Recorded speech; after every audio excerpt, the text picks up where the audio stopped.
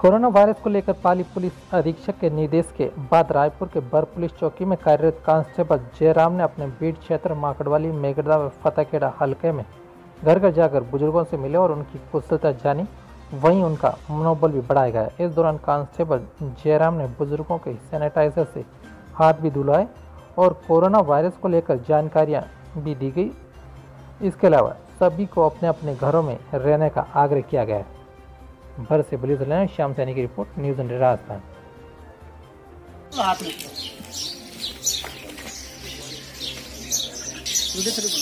और कोई मिलो ना अनजान आदमी हूँ। एक मीटर दूर हूँ बात करनी है। नेड़ो नहीं जानो रे ठीक है? और हाथ बार बार धोना है आपने। और घरे रिजो बाहर नहीं फिरनो घरे रहनो है ना? कोई काम काज रहे तो जानो बाकी बिना काम नहीं जानो। नहीं नहीं अपन कटेंगे। हाथ में।